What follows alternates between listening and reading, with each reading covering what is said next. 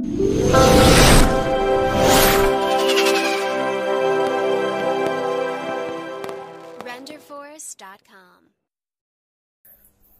தமிழ் நண்பர்களுக்கும் வணக்கம். இன்னைக்கு நம்ம வந்து என்ன பார்க்க போறோம்னா பொங்கல்னா என்ன? பொங்கல் ஏன் வந்து கொண்டாடுறோம் அப்படிங்கிற பத்தி நம்ம விரிவா பார்க்க போறோம். சரி வாங்க வீடியோக்குள்ள போயிடலாம்.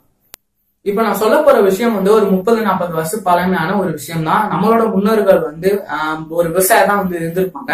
அவங்க பண்ணக்கூடிய ஒரு விஷயம் தான் நான் வந்து சொல்ல போறேன். என்ன அப்படின்னு பாத்தீங்கன்னா விவசாயத்துக்கு வந்து அதிகமா வந்து தண்ணி வந்து விடுவாங்க அந்த தண்ணி விடுறதுலே பாத்தீங்கன்னா ஒரு ரெண்டு டைப் வந்து இருக்கு. என்ன அப்படின்னா நன்சை புன்சை அப்படின்னு வந்து சொல்லுவாங்க.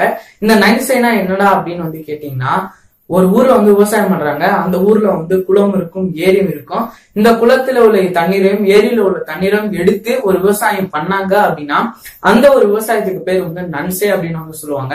இன்னொன்னு வந்து புன்சை வந்து இருக்கு. இந்த புன்சைனா என்ன அப்படின்னு பாத்தீங்கன்னா தன்னோட ஊர்ல உள்ள குளத்துல உள்ள தண்ணீரை வந்து எடுக்காம மழையை மட்டுமே நம்பி ஒரு விவசாயம் பண்றாங்க அப்படின்னா அந்த விவசாயத்துக்கு பேர் வந்து புன்சை அப்படின்னு வந்து சொல்லுவாங்க. நான் இருக்கிற பாத்தீங்கன்னா புதுக்கோட்டை. புதுக்கோட்டையில வந்து என்ன இருக்கு அப்படின்னு பாத்தீங்கன்னா ரெண்டுமே வந்து கலந்து ஒரு வந்து இருக்கு. நன்சையும் ஒரு ஏரியால பண்ணிட்டு தான் வந்து இருக்காங்க புன்சையும் ஒரு சில ஏரியால பண்ணிட்டு தான் வந்து இருக்காங்க சித்திரை மாதம் வந்து தமிழ்நாட்டுல வந்து ஒரு ஃபர்ஸ்ட் மந்த் இந்த சித்திரை மாதத்துல பாத்தீங்க அப்படின்னா ஒரு லைட்டா வந்து மழை பெய்யும். இந்த மழை பெஞ்சு முடிச்சதுக்கு அப்புறம் பாத்தீங்கன்னா விவசாயிகள் வந்து தான் வந்து எந்த இடத்துல வந்து விவசாயம் பண்ணணுமோ அந்த இடத்துக்கு போயிட்டு உழுவாங்க. உழுதுக்கு அப்புறம் வந்து களைப்பு இருக்குவாங்க இப்ப வந்து களைப்பு இருக்கிறதுனா என்ன அப்படின்னு வந்து கேட்டீங்கன்னா ஒரு நெல்லு வந்து வளருது அந்த நெல்லுக்கு வந்து தீங்கு விளைவிக்கக்கூடிய ஒரு அன்வான்ட் பிளான்ஸ் தேவையில்லாத செடிகள் வந்து இருக்கும். அந்த என்னென்னு பாத்தீங்கன்னா புல் இருக்கும் கோரை இருக்கும் இந்த மாதிரி நிறைய தேவையில்லாத செடிகள் தான் வந்து இருக்கும். உள்ளதுக்கு அப்புறம் அந்த தேவையில்லாத செடிகள் தான் வந்து எடுத்து தூக்கி போடுறாங்க இதுக்கு பேர் தான் பாத்தீங்கன்னா களை பெருகிறது அப்படின்னு வந்து சொல்லுவாங்க. இப்பதான் வந்து ஒரு கிளைமேக்ஸே வர மாதிரி இருக்கும். ஆடிப்பட்டம் தேடி விதை அப்படின்னு வந்து ஒரு பழமொழி வந்து இருக்கு.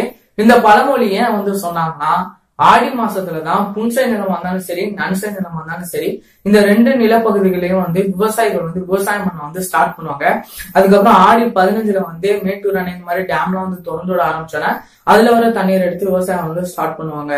இதுல என்ன என்னென்னலாம் விவசாயம் பண்ணுவாங்க? இந்த இப்ப ஆடி மாசத்துல வந்து என்னென்னலாம் வந்து விவசாயம் பண்ணுவாங்க அப்படின்னு கேட்டீங்கன்னா நெல்லு ஃப்ரூட்ஸ் வெஜிடபிள்ஸ் உளுந்து வாழை இந்த மாதிரி பல்வேறு பொருட்கள் வந்து விவசாயம் பண்ண வந்து ஸ்டார்ட் பண்ணுவாங்க.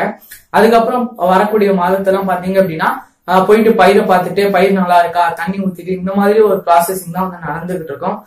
இவ்வளவு நாள் கஷ்டப்பட்ட ஒரு விவசாயிக்கு எப்ப திரும்ப ஒரு பலன் வந்து கிடைக்கும்? தை மாதத்துல வந்து கிடைக்கும். ஏன் அப்படின்னா அவர் வந்து ஆடி மாசத்துல வந்து பயிரை வந்து விதைக்க வந்து ஸ்டார்ட் பண்ணிருப்பாரு. இந்த தை மாதத்துல அந்த விளைச்ச பயிரை வந்து அறுவடை வந்து பண்ணுவாரு. அவர் அறுவடை பண்ணிட்டு தன்னோட வீட்டுக்கு அப்பதான் வந்து அஹ், இவ்வளவு நாள் விவசாயம் பண்ணிட்டு அப்பதான் ஒரு நாள் அந்த தை மாதத்துல தான் அவர் வந்து வீட்டுக்கு வந்து எடுத்துட்டு வருவார். இவ்வளவு நாள் வந்து எதுவுமே வந்து எடுத்துட்டு வந்திருக்க மாட்டாரு. சும்மா வயலுக்கு போவாரு தண்ணி பாய்ச்சுவாரு திருப்பி வெறுங்கையோட வீட்டுக்கு வருவாரு. ஆனா அந்த தை மாதம் தான் நான் வந்து விவசாயம் பண்ணி அறுவடை பண்ணி என் கையால அறுவடை பண்ணி நான் வந்து வீட்டுக்கு வந்து எடுத்துட்டு வரேன் அப்படின்னு ஒரு சந்தோஷத்தை வந்து வருவாரு. நம்மளாம் சந்தோஷமா இருக்கும்போது ஏதாவது ஒரு ஃபுட்டு நல்ல ஃபுட் வந்து செய்யணும் அப்படின்னு வந்து நினைப்போம். இதே நான் வந்து சந்தோஷமா இருந்தேன்னா எங்க வீட்டுல வந்து சொல்றேன் பிரியாணி வந்து செய்யலாம் அப்படின்னு. அதே மாதிரி அந்த விவசாயிகள் வந்து சந்தோஷமா வந்து இருக்காங்க. அப்ப வந்து ஆஹ், தான் வந்து அறுவடை பண்ண நெல்லை வச்சு ஏதாவது ஒரு நல்ல சாப்பாடு செய்யணும் அப்படின்னு நினைச்சுதான் பொங்கல் சாப்பாடு வந்து செஞ்சாங்க. அந்த ஒரு மகிழ்ச்சியான தருணம் அந்த ஒரு அறுவடை நாள் அந்த ஒரு பொங்கல் சாப்பாடு இதெல்லாம் கலந்துதான் பாத்தீங்கன்னா பொங்கல் ஃபெஸ்டிவல் அப்படிங்கிறது வந்து உருவாச்சு. இந்த பொங்கலுக்கு பாத்தீங்கன்னா நிறைய பேர் வந்து இருக்கு. விவசாயிகளின் மகிழ்ச்சி தினம் அறுவடை அந்த மாதிரி பல பேர்கள் வந்து இருக்கு. இப்ப நம்ம வந்து எண்டிங்க்கு வந்து வந்தாச்சு. நம்மளுக்கு முன்னாடி உள்ள விவசாயிகள்லாம் பாத்தீங்கன்னா அவங்க கையால வந்து விவசாயம் பண்ணி அதை அறுவடை பண்ணி அதை வந்து சமைச்சு பொங்கல் வந்து கொண்டாடிட்டு இருந்தாங்க. ஆனா நம்ம வந்து பருவமழை பெய்யாதனால விவசாயம் பண்ண முடியாதனால பக்கத்து மாநிலத்துல இருந்து அரிசி வாங்கி அதை நம்ம சமைச்சு சாப்பிட்டுட்டு பொங்கல் வந்து கொண்டாடிட்டு இருக்கோம். விவசாய பொறுத்தளவு இது வந்து பொங்கலே வந்து கிடையாது. எப்போ ஒரு விவசாயி வந்து அவன் கையால விவசாயம் பண்ணி அதை அவன் அறுவடை பண்ணி அதை வந்து சாப்பிட்றானோ அப்பதான் வந்து அவனுக்கு வந்து பொங்கல் வந்து வருது. அது வரைக்கும் அவன் வந்து பொங்கலே வந்து கொண்டாடல. நீங்க வந்து எந்த கடவுள் வந்து கும்பிடுங்களோ வந்து தெரியாது. நீங்க கும்புற கடவுள் கிட்ட வந்து நம்ம நாட்டுக்கு வந்து மழை வந்து வரணும் விவசாயம் வந்து பெருகணும் அப்படின்னு சொல்லிட்டு வேண்டிக்கோங்க. சோ இந்த வீடியோ வந்து பிடிச்சிருந்து அப்படின்னா தாராளம் இந்த வீடியோ வந்து ஒரு லைக் கொடுங்க. தமிழ்னா இந்த டாபிக் வந்து பேசுறது. வந்து நான் வந்து ரொம்ப வந்து பெருமைப்படுறேன். இந்த வீடியோ வந்து உங்க நண்பர்கள் கூட வந்து ஷேர் பண்ணீங்கன்னா எப்படி வந்து பொங்கல் வந்து உருவாச்சு அப்படின்னு வந்து அவங்களும் வந்து தெரிஞ்சுக்கோங்க. வேற ஏதாவது வீடியோ வேணும் அப்படின்னா கமெண்ட்ல லீவ் பண்ணுங்க. அடுத்து அந்த வீடியோ வந்து போஸ்ட் பண்றேன். இந்த வீடியோவை பார்க்கும் அனைத்து நண்பர்களுக்கும் இனிய பொங்கல் நல்வாழ்த்துக்கள். மீண்டும் ஒரு நல்ல வீடியோவில் சந்திப்போம். விவசாயிகளை மதிப்போம். விவசாயத்தை காப்போம்.